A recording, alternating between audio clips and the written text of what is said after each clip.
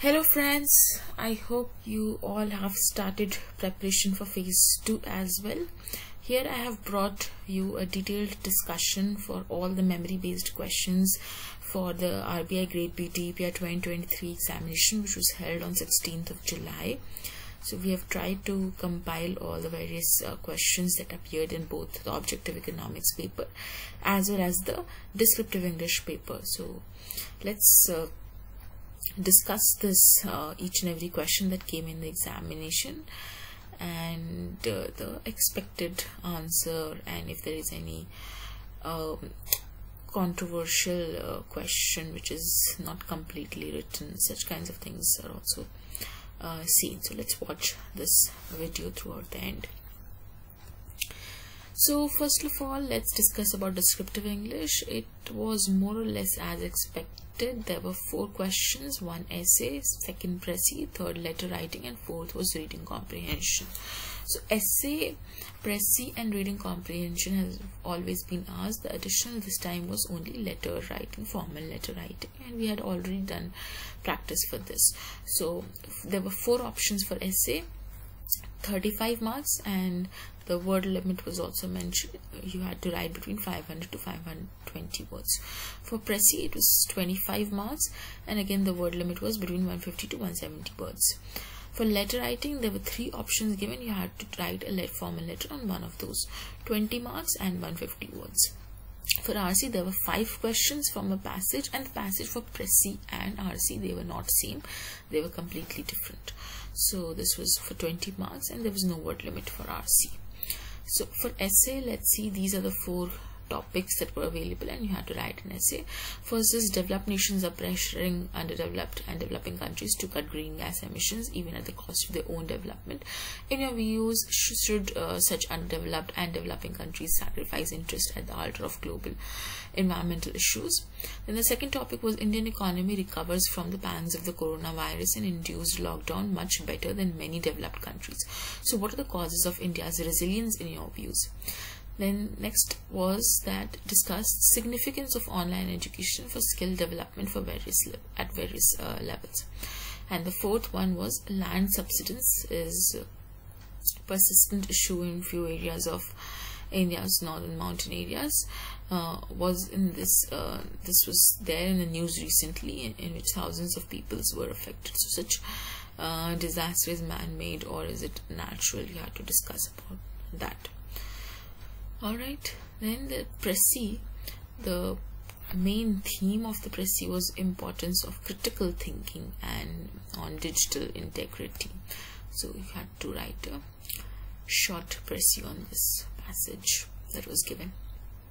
For reading comprehension, the main passage was basically centered around how government, individuals, and corporate manufacturers can take a step towards minimizing waste. What all different actions that they can take.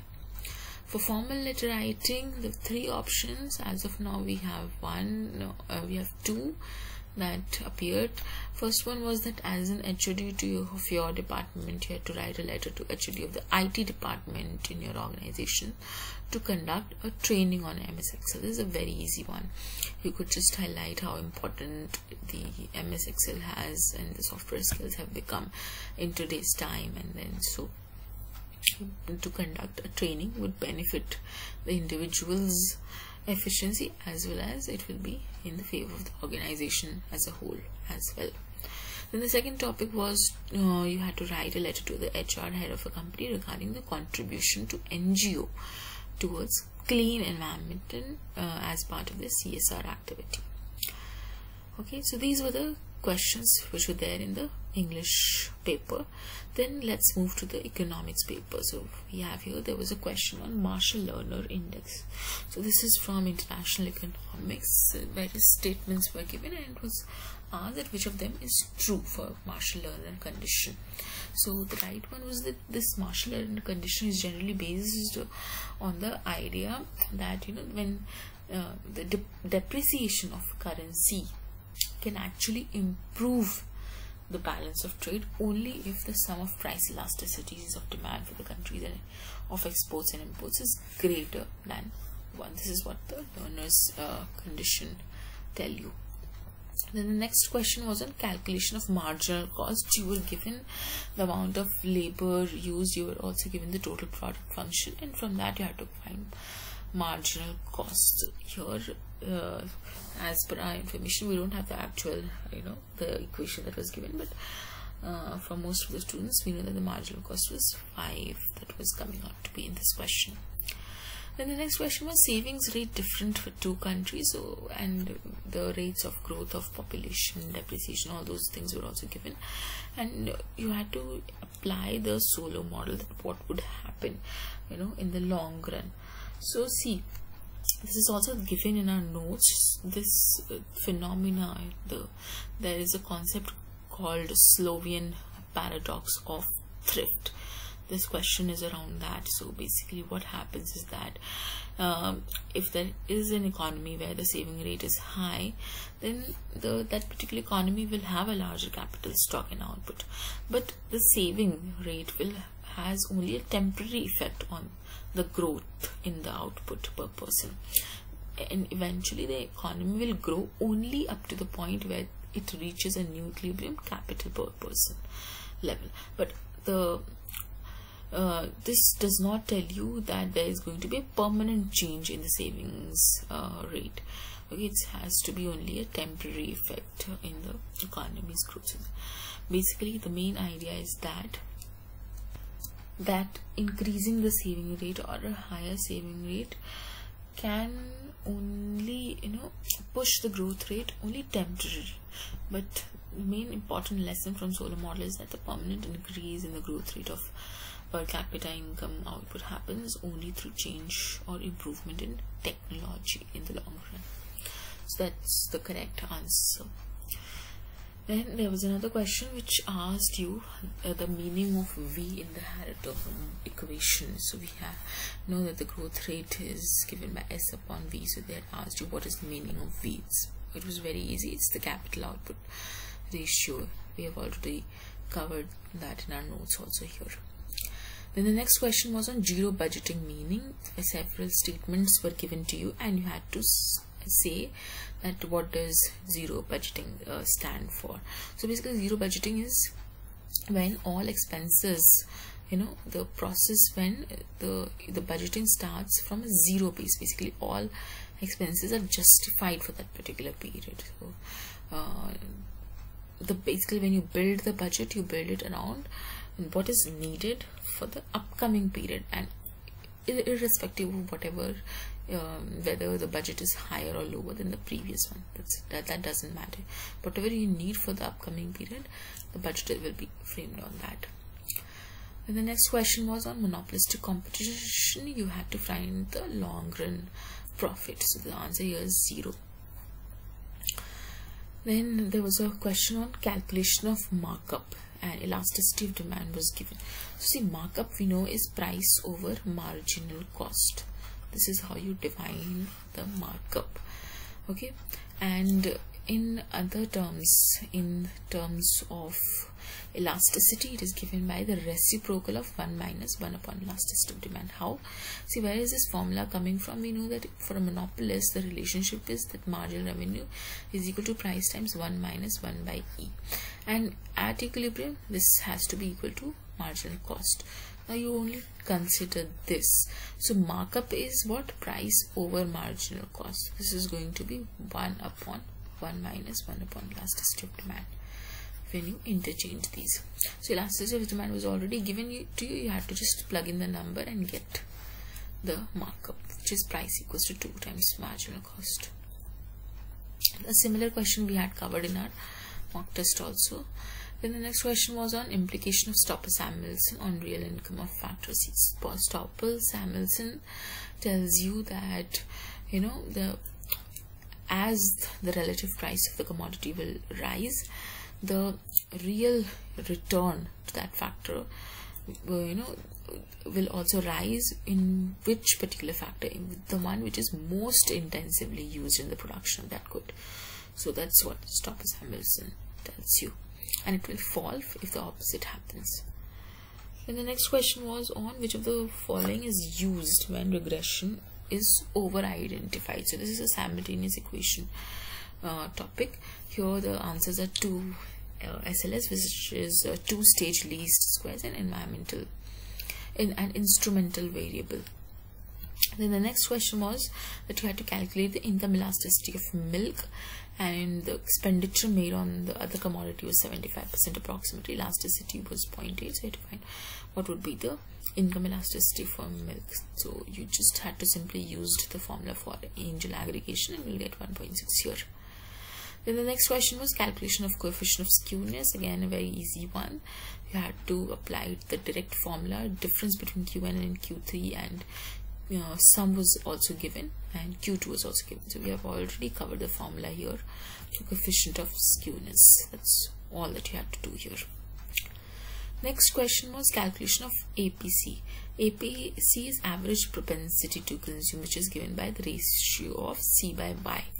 Again already there we have covered it in our note. And from the consumption function that was given at a particular y value the answer was coming out to be uh, 1 as per our information. Then the next question was that you know you were given probabilities of getting selected in a particular company and getting not selected in another one. So what is the probability that you get selected in at least one? Now the easier way to solve such questions is 1 minus probability of not getting selected in any of these. This easily gets you to the answer which is coming out to be 2.85 next question there was a question on CAPM model capital asset pricing model. Now this is a very uh, important model in financial markets and the values were given to you beta risk free return return with risk and you have to find the expected payoff you just simply use the direct formula that we uh, used in CAPM model. So this is important topic although not clearly specified in the syllabus for our of uh, the DEPR exam. But this has also been asked in phase 2 in 2022 paper. So this is important and this will become important this year also. And um, you know we have a special class of finance topics also in our phase 2 schedule where Prachi ma'am will cover this topic in detail so uh, here the answer was 12.5 next question was that MRTS was given and price of labor and capital were given and you were asked whether the firm should employ more labor or more capital. So you just had to compare the ratio of labor and capital prices with MRTS and write your answer. So most likely the answer here was uh, labor would be substituted for capital then Kaldor model lays emphasis on what its technical change we had also covered this concept in the note the ultimate factor is technical dynamism Next question, Fei-Ranis was an important improvement over which uh, theory? Lewis theory. Again, very well covered in the notes. So Lewis had ignored that how the subsistence sector would uh, grow, which is a major drawback in the Lewis uh, theory. So Fei-Ranis came up with his uh, theory that was an improvement. The next one was who postulated unbalanced growth theory. Again, a very straightforward question. It was Alberto Hirschman. Next, REER is calculated for how many currencies? Again, 40 currencies. Earlier it was 36 currencies. Now this has been revised recently only uh, from 36 to 40 in 2021 so very uh, basic question from current affairs. And you will also find um, RBI bulletin report on this as well. Next question. Ability to pay principal is based on what it's based on income and wealth. The more income and wealth you have the more you are able to pay the tax and so on. Next question was sustainable development index which of these is a sustainable development index? The right answer is green index. It's actually the green growth index. Okay basically which measures the performance of uh, your, how sustainably you achieve the targets the sustainable development uh, goals. Next was a calculation of deadweight loss question. Now here it's a very controversial kind of question. Usually what you do is that whenever you have to calculate the deadweight loss you take uh, find the area of that particular triangle and you, where you take the difference in prices times the difference in quantities and divided by 2 this is the area of the triangle. This gives you the deadweight loss. Now if you could just try to solve this you will get the answer 125 by the, whatever the values were given in the question. But the question is here that this is a very uh, critical question here. They had no mentioned that you know whether the initial quantity was uh, you know 250 at equilibrium or something like that. So just that the, the price increased. Now deadweight loss is efficiency loss or welfare loss to the society. That, that happens in cases of price ceiling or price floor or um, some kind of tax such things lead to deadweight loss. Price increase could also mean that you know maybe he's a monopolist he's a only seller so he is operating on some point on the demand curve and then he decides to increase the price and now he's operating on another point. So his producer surplus would increase and nothing will happen to the social welfare right? So nothing should happen uh, you know. There is no deadweight loss actually essentially here so that's mm, why uh, because it's a very open-ended question that was left. So most likely some of you have actually tried to calculate it through this procedure and found out the answer to be 125 which was one of the option also but it's a little tricky one right? If you really go by the definition of deadweight loss i feel that here in this question as per if only this much is mentioned then there shouldn't be any deadweight loss here next question is that when there's relation between two explanatory variables again a very straightforward question. It's called multicollinearity covered in the notes as well. Then the ratio of mux upon px and mu y upon py was given. So again had to compare the ratio of prices with the slope of the indifference curve and what should happen whether x should be substituted or y. So again here in such questions you are assuming that there we have well behaved indifference curves and in that case what is going to happen next a sample is drawn from normal populations. So how would the distribution of the uh, sample would be? So this is a CLT question central limit theorem. So what's going to be normal. Next uh, you had questions. You have some statements on Manrega provisions and you had to find out which of these would be correct. So you had some kind of options on the time limit of Manrega that what is the time limit for cash payments? Or how is cash payment done and if somebody is not given employment then what uh, is, is that person given employment allowance? All those kinds of things were mentioned in the statements. The next was the determination of interest rate in neoclassical model. It happens to the supply and demand for loanable funds next statements on environment was stated and you were asked that which organization stated it. Some options were UNESCO and so on. Next there was a question on public economics uh, from Peacock-Wiseman hypothesis. It's a very famous hypothesis on public expenditure. So it was asked what is the actual meaning of concentration effect in Peacock-Wiseman hypothesis. So public expenditure basically it will not increase in a smooth and continuous manner. It increases in a step-like fashion. That's what Peacock-Wiseman hypothesis tells you. And one of the reason is the concentration effect, which means that you know if the expenditure of the central government increases more than the state and local government, then the concentration of expenditure will be dominated by the central government. That's what concentration effect is.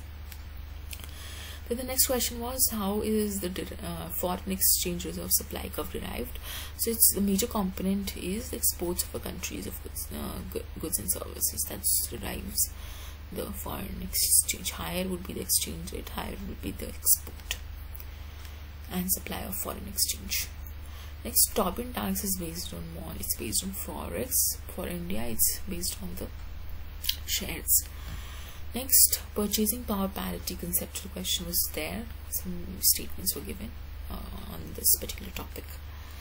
Next, there was a report on climate change named Making Peace with Nature, and it was asked who gave this report. It was UNEP. Next question 50 units of good 1 and 20 units of good 2 and p1 also was also given 12 so you have to find slope now slope is everybody knows it's dy by dx if you know two points it says 50 units of good one so 50 here and 20 units of good 2 so just obviously slope is going to be what if you take here. It's going to be 20 by 50 which is actually 0.4 now the irony was that in the options as per some of you there was no you know mention of a negative sign. Obviously the slope it's negative right um, if 50 units of good one and 20 units of good two so you join this you there's there's going to be a negative slope here. So it's a bit weird that actually what is examination trying to you know test you on. So uh, because at times also we ignore the sign of elasticity of demand however usually price elasticity of demand is negative so in most of the questions you will also see that the sign is ignored. So it actually really depends upon what the examiner will take the right answer for this question to be. It can be 0.4 or it can also be none of those given as options because there was no negative sign in the options. Next uh, what happens towards the left of the IS so the right answer is that there is excess demand in the goods market. Why so? Because see this is your IS curve you pick up any point okay here. Here you will see that investments demands are greater than the savings. For instance if you take about uh, the two sector model also.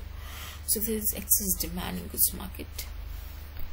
Then the next question was that what happens to the shape of the LM curve when fiscal policy is fully effective? So obviously if the LM curve is horizontal then only fiscal policy is going to be fully effective because if you shift the IS curve okay an expansionary fiscal policy will shift the IS curve towards the right and there's going to be complete increase in the equilibrium output.